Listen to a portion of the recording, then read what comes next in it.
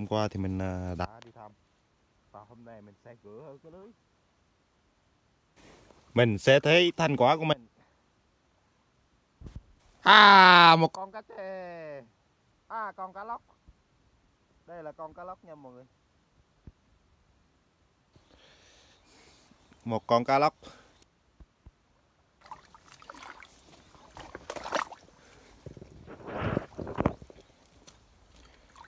thêm một con cá trắng này nha mọi người. Một con cá trắng. Hai con.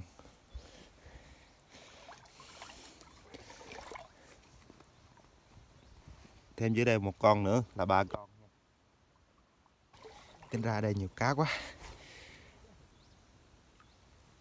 Wow, con cá lóc với con cá trắng. Bốn con bốn con.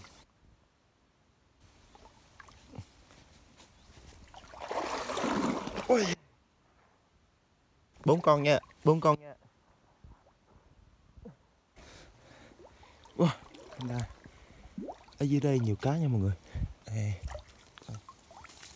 đây thì không dính rồi. Wow ở đây ở đây có thêm con có thêm con rồi mọi người đây con cá trắng nữa.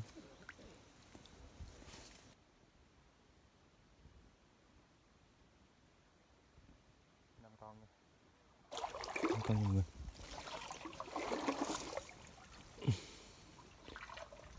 Wow bên kia có con cá to kìa. Oh, sáu con sáu con nha mọi người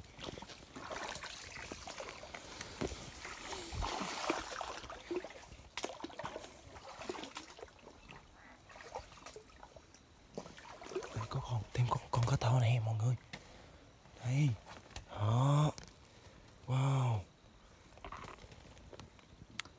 Có thêm con nè. Con này hơi bự.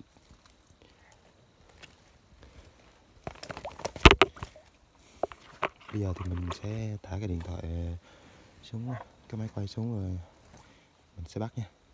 Xíu nữa mình quay cho các bạn xem nha.